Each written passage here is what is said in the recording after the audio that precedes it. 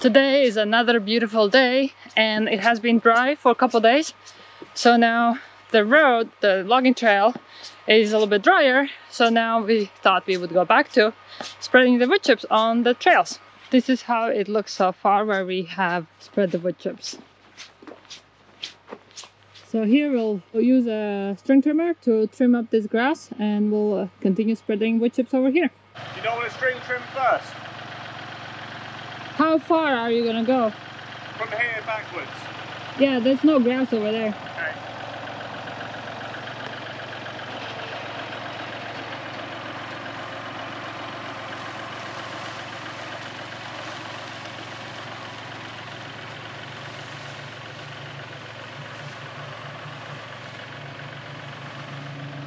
Nice.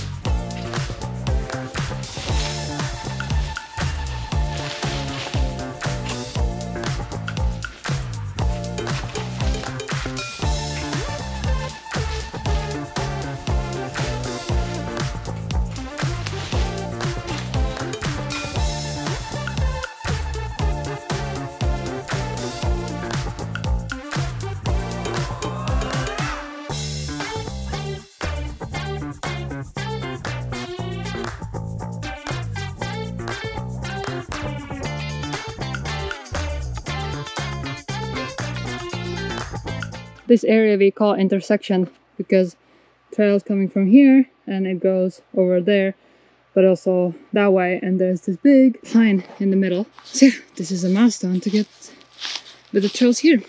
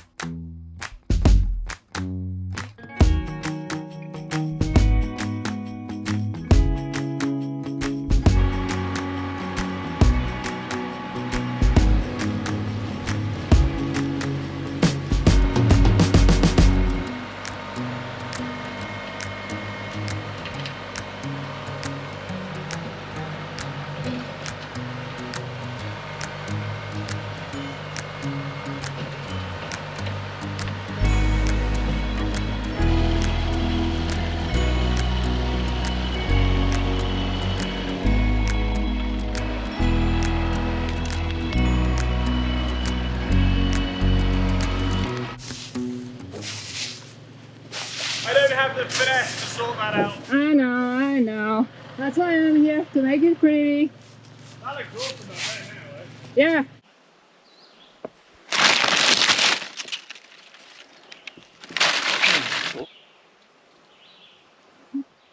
So this is birch, and these are great for kindling, for fire starting.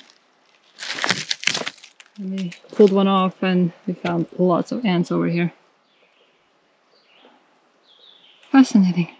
Since we're out here on the trails with the tractor, we thought we might as well use it to kind of, I guess, cut down almost or sort of flatten some of the vegetation that's out here, mainly the ferns. Uh, this whole area in front is absolutely overgrown with ferns. So using the tractor, we're able to lower the bucket and put it in float mode where the hydraulics aren't pressing it down, it's just the weight of the bucket itself that's kind of holding it against the ground which is fairly heavy. Um, and then by reversing the tractor, we can then drag that backwards over the ferns and recreate the path that's here. So I know when we first walked this a few months ago, uh, before we even bought the property, when we were checking it out, this path was really visible. It was really Yeah. easy to see exactly where it was because it was covered in snow and you could see the the sort of tracks and things. Now with the ferns, if you didn't know it was here, You you wouldn't be you wouldn't be able to see it. Um, so we're just using the tractor just to to kind of um, knock the ferns down. You could use like a brush hog or a rotary mower or something like that to do this. But honestly, for what we're trying to do right now, this is actually working really well. Yeah, yeah, this will be great, and uh, I'm really glad we bought this piece of land. But just having some logging trails on it, I mean, it's huge having Yeah. the trails already. Like building trails from scratch, It's hard work. it's hard work, and it's really nice to have some that already Yeah. have a base. And now it was so much easier to just like chop the ferns off and put the um, The wood wood chips chips. on, and you end up with a really pretty trail. Yeah, and and without the wood chips, they're still totally walkable and doable. Yeah, yeah, we walked these when the ferns were overgrown, and you can do it. Um, but we have ticks around here, and so just walking through the undergrowth is just a recipe for getting ticks on you and things. Clearing the ferns down just makes it much easier and nicer to walk on. And then the wood chips, I think, just add a whole new dimension and make it just look super cool. Uh, we've got about half a mile of trails, I think it is, um, Something like that. somewhere around that, that number. That would take a long time to add wood chips to. We've just been using the trails as somewhere to put the wood chips that we generated the other week um, and I think they look great. But I think if we're going to start doing more trails, we may need to find a better solution than back and forth with a tractor the whole time. It wasn't, one bucket at a time. yeah, one bucket load at a time wasn't super scalable. I think it was about a six minute round trip with the tractor, and each bucket load was doing maybe what, 12 feet, something like that. 12 to 15 feet. So, yeah, not exactly a fast operation. And obviously, the further we get from the big pile of wood chips, Yeah. the slower it goes anyway. But for now, I think this is a nice approach to just redefine the trails, make sure that we can see them and we know where they are. Since we have the tractor here, we also cleared uh, this path here from all these uh, fallen birches. Like before that, we couldn't go through here. And this is how far we with the trail. So the wood chips uh, end here, and it's kind of partway loop around this uh, big tree, and it kind of comes from there. So uh, yeah, let's walk the trail of wood chips now.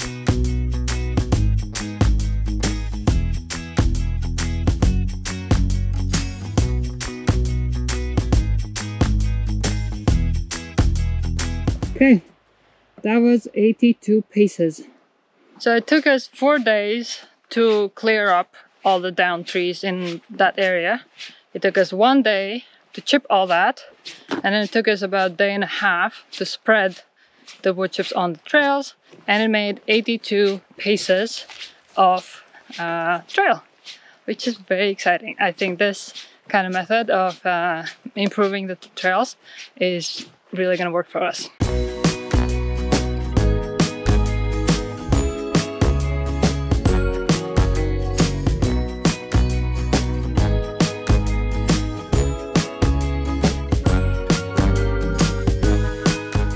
This area that you can see behind me is the area that was uh, previously full of the dead fallen trees that we cut, we limbed them, we bucked them, and then we chipped them. And we spread all the wood chips all over this area. Also, they're the same wood chips that we've taken out onto the trails as well. So really, this area is looking pretty good right now. This is also the area that we were thinking a shipping container could go. It's relatively flat, it's fairly easy to access, um, the water doesn't seem to pool here, it's, it just seemed like a sensible area to kind of put a shipping container. We have decided not to get a shipping container, at least not just yet. We got some quotes for uh, buying a shipping container, a used one, and the prices at the moment are just insane. They are about three times what we had seen a little while ago and it's just because of a shortage of shipping containers, particularly for this purpose. The shipping containers we looked at uh, previously, you could get a used one for 1,500 to $2,000. Now we're looking closer to $5,000 just to buy a used 20 foot shipping container. So, pretty expensive. New ones are significantly more expensive than that. We don't need a new one. We're not building with it. We just need something waterproof and wind tight and relatively secure. Nothing's perfect, but it would be would be better than leaving things out in the open or like we're doing right now, taking things back and forth in the truck. So for now, we're not going to do a shipping container. We're just going to focus our efforts on getting the uh, mechanical building constructed and, and installed and get all the utilities hooked up to it. And that should give us some secure storage then, because that building will obviously be lockable and all the tools we're just keeping in the truck for the time being. This winter, depending on what we decide, whether we stick around here for the winter or not, we may decide to rent a shipping container uh, or a storage unit nearby. The reason that we're not looking at renting a shipping container right now is because to get a shipping container to this spot right now, we would have to get our contractor with uh, his big excavator to kind of skid that 5,000 pound 20 foot shipping container all the way up here. We don't really mind doing that too much with a used one that's already got a few bumps and scratches in and things, but I'm sure the rental company wouldn't be too pleased with us doing that with a nice, fairly new uh, shipping container for rental. So once we've got the driveway in, that'll unlock some more options for us if we want to look at the shipping container again. Uh, but for now, we are not going to be going ahead with that. So that is it for today. Thanks for uh, joining us in this adventure of uh, building a house in rural Vermont. And we'll see you in the next video.